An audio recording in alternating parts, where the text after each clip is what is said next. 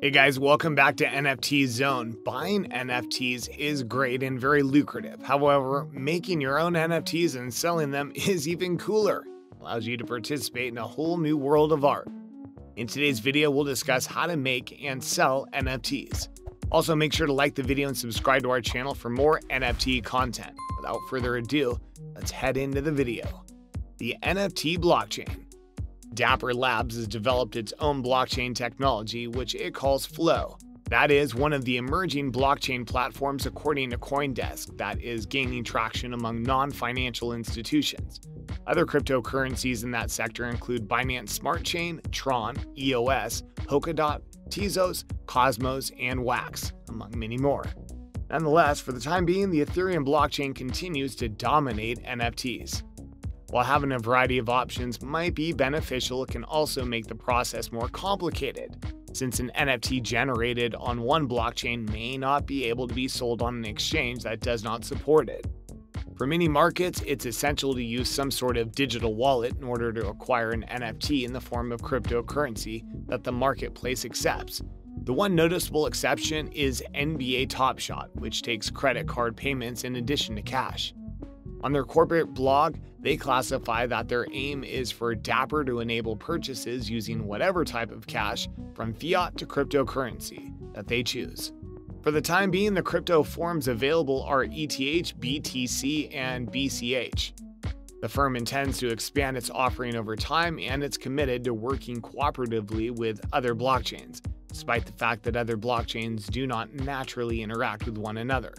The number of markets is expected to continue to grow in the foreseeable future. Right now, the most popular ones are OpenSea, Rarible, Super Rare, Nifty Gateway, Nifty Gateway Lite, Foundation, Axie Marketplace, Bakery Swap, NFT Showroom, Viv3, and NFT Showroom Lite. If you choose OpenSea as your NFT provider, that indicates that you will require ETH to pay for your NFT. The same as needing to exchange your American dollars for Canadian dollars you want to make a purchase in a Canadian store that doesn't take credit cards. To give you an example, is it time for your business to accept Bitcoin? See also, is it time for your business to accept Bitcoin? Your payment must be received in the format that is recognized by the site. As a result, you'd seek for wallets that accept Ethereum. When the NFT you desire becomes available, many of them will be ready to make your purchase. These include MetaMask, Trust Wallet, and Coinbase Wallet, among others. By the way, have you ever made your own NFT? Let us know in the comment section down below. How to make NFTs. You begin by generating the file that will be offered for sale as an NFT on the NFT marketplace. GIFs are animated pictures that can be either static or moving. JPEGs and PNGs are both examples of static images. You may also utilize audio files or a combination of audio and visual files to create your presentation. Additionally, a 3D printing model may be converted into an NFT. Then, just like you would with a purchase, you would choose your marketplace and configure your digital wallet in the appropriate manner. Alternatively, you may determine the type of blockchain and or cryptocurrency you want and then choose the marketplace that supports that form of blockchain and or cryptocurrency. When it comes to markets from the point of view of the developers, CoinDesk recognizes the three most important ones that uses the Ethereum blockchain as OpenSea, Rarible, and Mintable as the three most important ones. It should be noted that it's also possible to produce on Maker's Place. However, this is only available to artists who have been listed and who have registered on the site. The procedure is essentially the same for the three individuals mentioned. By selecting the Create button in the upper right hand corner of the screen, you'll be given the opportunity to link your Ethereum based wallet to the platform. There are some differences across platforms in terms of the specifics of the following phase, but it's essentially the same. Consider the OpenSea platform, where you may hover over the Create button, choose My Collections, and then click the Create button to complete the process. Then you may upload your file, label it, and describe what you're uploading in a new window that'll appear.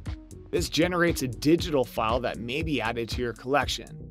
You'll be assigned a picture that'll serve as a unique identifier for your collection. After that, you would click on the pencil icon in the upper right hand corner of the page to insert your banner picture into it. That's the first setup. To really construct your NFT, you must first select Add New Item and then use your wallet to sign another message in order to complete the process. After that, you'll be presented with a window in which you may upload the file that will be converted into an NFT.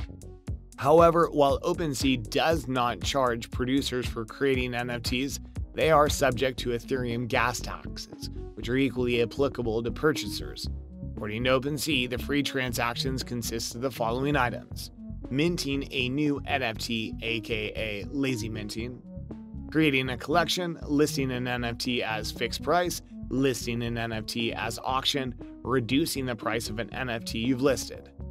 However, gas fees are incurred from the following accepting an offer, transferring or gifting an NFT to someone, buying an NFT, canceling a listed NFT, canceling a bid, converting wrapped ETH, WETH back to ETH, and vice versa. It does, however, provide one piece of advice to creators because the gas prices vary depending on how busy the network becomes as a result of many transactions. Individuals who wish to decrease their expenses should finish their transactions during off peak hours. As a general rule, weekends are less busy than weekdays, so frugal manufacturers should keep this in mind when putting their non traditional toys on the market. Also, make sure to write your thoughts on our tips in the comment section. How to sell NFTs. Identify the NFT you wish to sell, click on it, and then click on the Sell button. This will take you to a pricing screen where you may choose the terms of the transaction, such as whether it will be sold at a fixed price or put up for auction. The method of payment for the sale will be determined by which form of payment is accepted on that site. According to Coindesk, Ether and other ERC20 tokens are the most common cryptocurrencies for which you can sell your NFTs. But some platforms only support the native token of the blockchain on which they were built. These are subject to change. Then you'd go to the Edit button on OpenSea, which supports smart contracts Sign the message with your wallet and then scroll down to choose which ERC20 token you'd take and which royalty option you'd want. Due to a feature included in the smart contract, royalties may be produced for each NFT sale, allowing the artist to receive money that is not restricted to the first sale. Please keep in mind, however, there are some additional expenses associated with the sales process, including accepting the offer and transferring the item. This is why you must prepare for pricing that will, at the very least, cover those costs, or else you may end up losing money on the transaction altogether. The monies will be sent to your digital wallet as soon as the transaction is completed. Alternatively, you can leave them in place to support future NFT related activities, or because you anticipate the currency's value will grow in the near future. However, you may cash out in whichever currency you want to use, just as you can change your Canadian dollars back to American dollars when you leave the country. Some see NFTs as the future of collecting and a fantastic opportunity to invest, while others see them as a bubble that will definitely burst in the near future. It's also important for aspiring NFT producers to know that for every sale of a multi million dollar item, there are hundreds more available at prices so cheap that the creators would barely break even on their investment. Nonetheless, we're likely to witness an increase in the number of people who try their hand at it in the hope of selling digital assets that would generate large bids and headline grabbing figures. What do you think about this guide on how to make and sell your own NFT? Are you planning to create your own NFT? Let us know in the comment section. That brings us to the end of the video. I hope you had fun watching it. Give us a like if you did, and subscribe to our channel to stay updated. Also, activate the bell to get notified for all of our upcoming videos on the world of NFTs. Enjoy your day, and I'll see you in the next video.